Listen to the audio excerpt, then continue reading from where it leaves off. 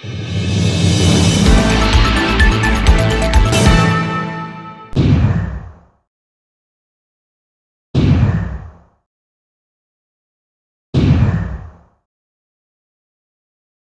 गांधी को आप पप्पू कहते हैं। उन्होंने 12 फरवरी को आपको इतला किया था कि बड़ा डेंजर है, बहुत मुसीबत में पड़ेंगे हम। तो कोरोना की फ़िक्र करनी चाहिए, लेकिन आपने जानबूझकर जब कोई अपोजिशन वाला बोलता है तो आप जानबूझकर दुर्लक्ष करते हैं। और आप 20 लाख की बात कर रहे हैं। 20 लाख करोड़ की। 20 लाख करोड़ 20 लाख करोड़ 20 से 20 होकल है वो लोकल लोकल होना चाहिए लोकल होकल होना चाहिए। ये आप क्या शब्दों की जगलरी करते हैं?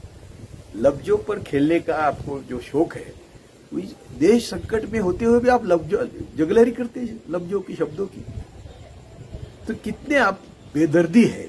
बेशर्मी है, असंवेदनाशील है, ये इसका पता चलता है। बीस लाख करोड़ का क्या आपने डिक्लेयर किया? उसमें अभी हिसाब दे रही है तुम्हारी फाइनेंस मिनिस्टर हम चार दिन हमारा जी कान में लाके सुन रहे हैं। वो पाँच सौ रुपए की लाइन लगी है।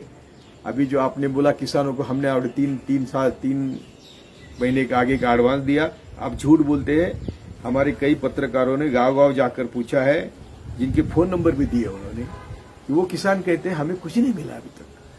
पाँच सौ रुपए की बात वही है। जो आपको पहले ही देना था, वो बीस लाख के, बीस लाख करोड़ के पैकेज में डाल के आप खुद को फंसाते हैं, देश को फंसाते हैं, और दुनिया आप पर थूक रही है। अभी दुनिया के पैकेज देखे क्या आपने? दुनिया के पैकेज, ये पैकेज नहीं है। ये आपके जैसे वो पैसे वापस नहीं मांग रहे ये पैसे दिए बिजनेसमैन हो कामगार हो बे, बे, बेदखल कामगार हो घर में बैठे हुए बच्चे हो स्कूल में जाते हुए बच्चे हो सबको जिसका बिज़नेस ठप हुआ उसको पिछले साल का तीन साल का मुनाफा देखकर उसको 90 परसेंट सेवेंटी परसेंट उसको दे रहे हैं। सबके फिगर देने की ज़रूरत नहीं लेकिन आप जानते हैं सब। यानी किसी का बिज़नेस रुका है तो उसको पिछले तीन साल का मुनाफा देखकर उसको 75 परसेंट टू 90 परसेंट कॉम्पनसेशन दे रहे हैं। किसी के काम नहीं है अभी उसको तीन साल काम किया था वो देखकर उसको पगार दे रहे हैं पेंशन दे रहे हैं मदद कर रहे हैं। खिस्से में पैसे दे रहे हैं। ये अर्जेंटीना वगैरह लोग तो घर में जाके पैसे दे रहे हैं। बुज़ुर्गों को घर में जाके पैसे दे रहे हैं। ये सब इंफॉर्मेशन हमारे कई ऑनेस्ट पत्रकार है, वो दे रहे हैं। लेकिन हमारा जो समाज है, विशेषता जो बहुजन समाज है, वो ना कुछ देखता है, ना कुछ पढ़ता है, इसलिए उनके लिए मेरा जी जलता है, हृदय में संवेदना होती है, इसलिए मैं ये सब लेके आपके सामने आता हूँ कि हर देश ने इन्हें 231 देश का उन्होंने, इकतालीस दो सौ ठीक है, कोई 200 200 से ज़्यादा देश है, उनका इन्होंने हिसाब दिया है, जागतिक बैंक का रिपोर्ट है कि सभी देशों ने एवरेज 30.7 कैश ट्रांसफ़र करी। परसेंट 30.7 परसेंट कैश ट्रांसफ़र करी। है आपने क्या ट्रांसफ़र किया? एक दमड़ा में नहीं। और बात ऐसी करते कि साढ़े छह हज़ार किसानों को किसान का धान खरीदने के लिए। अरे साढ़े छह हज़ार अपने स्टेट कितने हैं? एक स्टेट को कितना पैसा जाएगा? आप जरा भी आपको शर्म नहीं आते आंकड़े ज़ाहिर करने में? तो धान सड़ रहा है उनकी सब पेरिशेबल गुड्स सड़ गए। सब्ज़ियाँ थी, और भी कुछ फल थे, सब सड़ गए हैं। यानी आपने किसानों को बर्बाद किया। तेईस लाख अभी आपके आंकड़े के मुताबिक और उसको कई एनजीओ के आंकड़े हैं तो तेईस लाख, तेईस करोड़ लोग हैं जो आपने उनको रास्ते पर जाने को कहा है। आपके चीफ मिनिस्टर ट्रेन ज़ाहिर करके बाद में उद्योगपति आते हैं, या कहते हैं इनको जाने दिया तो बिल्डर आते हैं तो उनको नुकसान होगा तो ट्रेन कैंसिल करते हैं।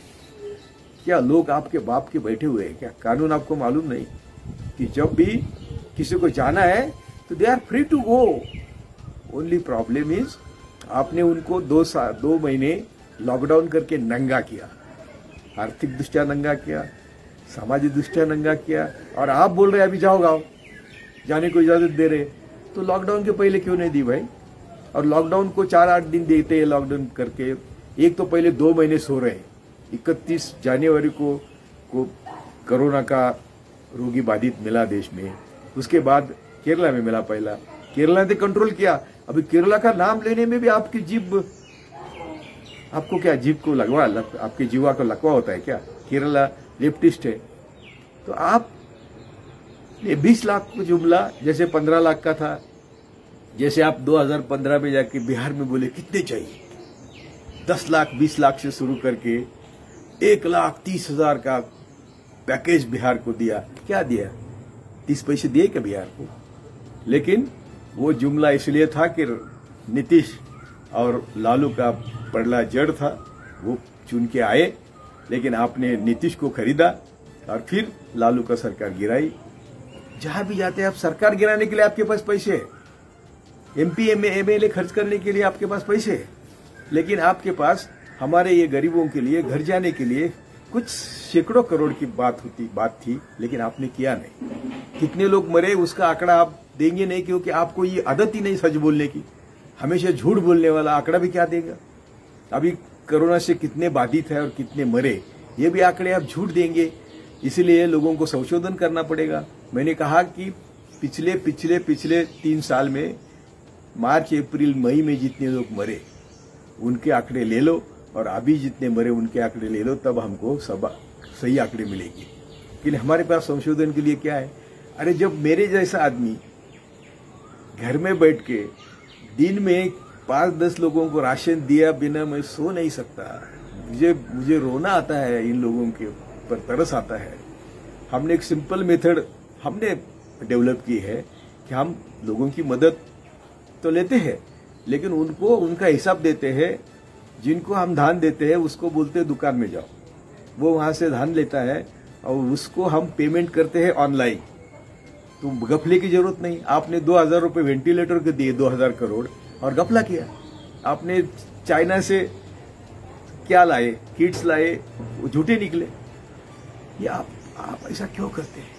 दो हज़ार करोड़ के आपने सौ क्या दो सौ कितने कितने वेंटिलेटर्स खरीदी करे? उसके सब कीमतें हमने बाद में मिला ये तो वो वो किसी कीमत में आपका वेंटिलेटर बैठता नहीं।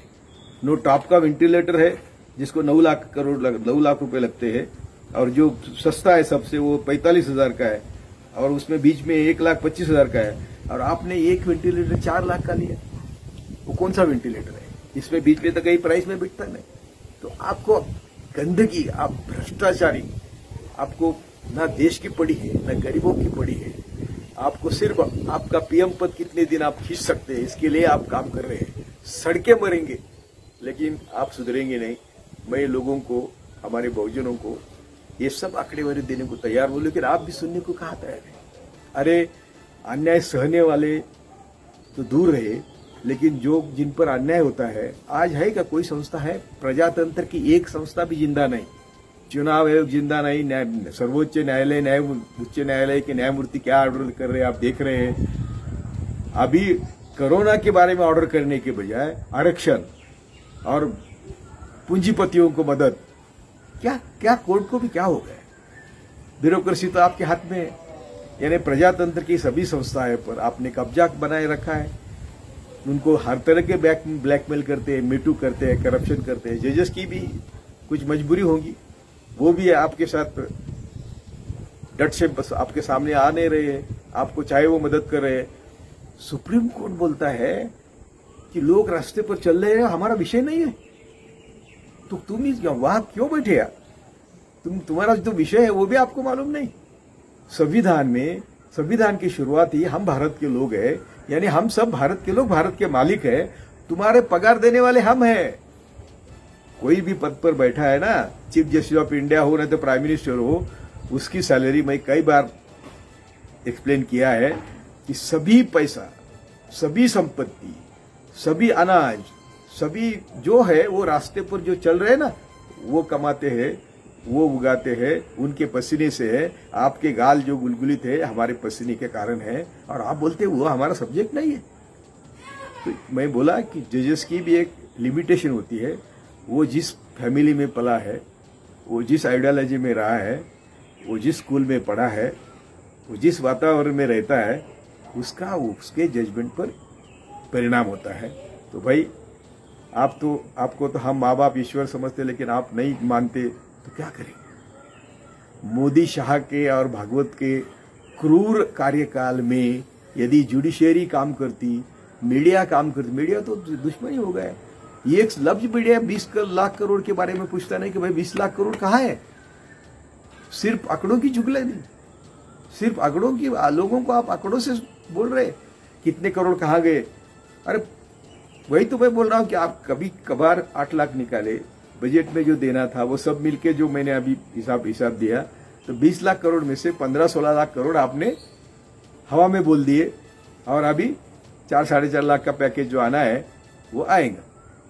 तो इसीलिए मैं सभी बहुजन भाई बहनों, specially Dalit, Muslim, Adivasi S C S T OBC के दलित कहने से भी गुस्सा आता है, क्योंकि आज हम सब मर रहे हैं तो हम क्या कहें, इसके ऊपर भी सब निर्भर हो रहा है। तो अब आज हम सब मिलके सोचे, हमें संविधान के दायरे में संगठन करना होगा, मजबूती से आंदोलन खड़ा करना होगा।